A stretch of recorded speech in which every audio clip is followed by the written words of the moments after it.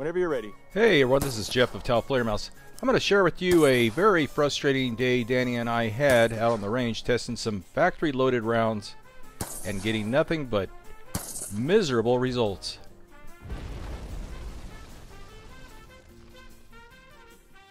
After nearly a week of over 105 degree temperatures, it finally cooled down to about 100 degrees and I talked Danny into coming out and shoot.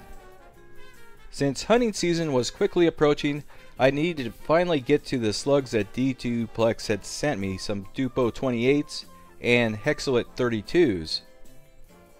Little did I know that because it was so hot outside, the heat would actually play a very negative effect on the slug's performance. Now it's important to note that many brands of slugs have a very similar construction as the DDupleks.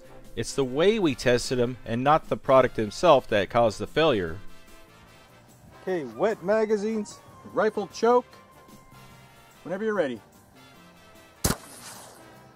Wow. In this shot we see that the slug is flying sideways because it lost its plastic stabilizer. It was completely ripped off from the back.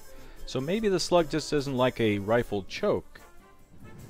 Okay, let's see how it does out of a full rifle Mossberg 500. Whenever you're ready. That's right where I was aiming. Again, the plastic stabilizer has been ripped from the back. There it is flying along, but the slug really didn't benefit from the uh, full rifling as it hit the magazine sideways.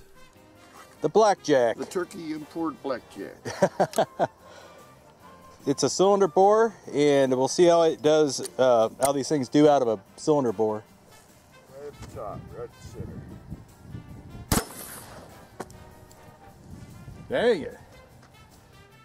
With no rifling at all out of the smooth bore, the slug is still flying sideways. So maybe we got a bad batch of shells? Let's try the red Dupo 28s and see how those perform. Yep. We're going out of the Benelli with the rifle choke tube. First, see how that how compatible they are. Whenever you're ready. Well, the slug is still flying sideways. We've lost the stabilizer tail. There we can see a glimpse of the gas piston, which is pretty mangled up. That's a pretty good clue there. Let's see if we see any improvement out of the full rifled barrel now.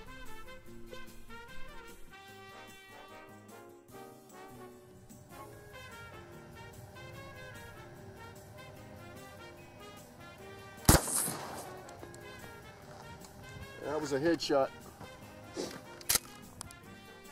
Still no improvement in the ballistics. Again, we see that gas seal that's all mangled up. That's usually a sign that you have a pressure spike, that something is loaded wrong or maybe some other factor. Let's continue. Okay, break action. Dupo 28 red. Whenever you're ready. Out of so many failure shots, this one actually worked okay. Pretty accurate, and the slug hit nose first and fragmented.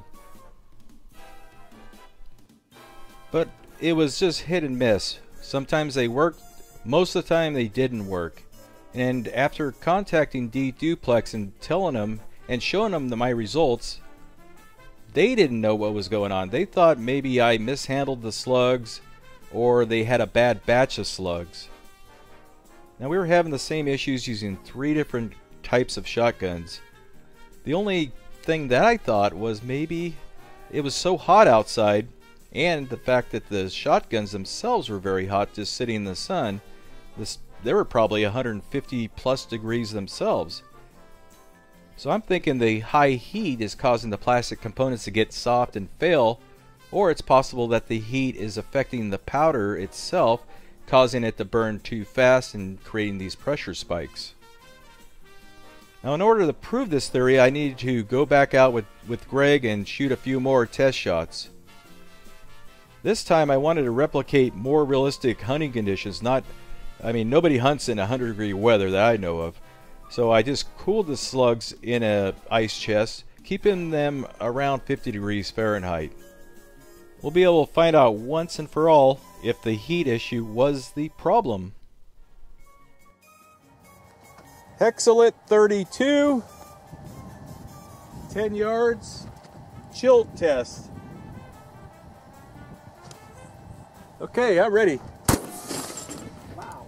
That lifted that thing right off of that block. Yeah. Okay, I'm ready. As you can see, there's a huge difference. The slug was accurate. There's the gas seal. The gas seal is in perfect shape. No problem. The slug performed perfectly. Let's shoot a couple more and see if this trend continues. All right, fire. Here we go.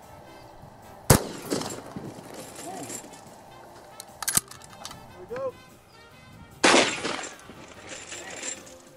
Now in this shot, I only put the slug in the ice chest for about a minute. It probably didn't get cool enough. We can see that the gas seal is a little bit mangled up, but overall it performed okay.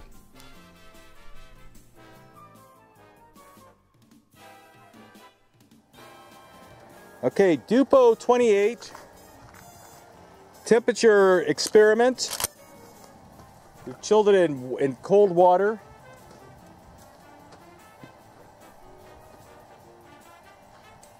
Fire! Oh, it. Fire! Now this Dupo 28 was chilled for quite a while. It was in there for about 10 minutes and it was cold. It performed well. The gas seal is in good shape and the performance and accuracy were outstanding. While most people don't go hunting in 100 plus degree weather, we do film in those conditions. From now on, we're going to definitely take the ambient air temperature into consideration and keep our slugs at a cool, not cold temperature just for the sake of consistency. I hope you found this interesting. Thanks for watching.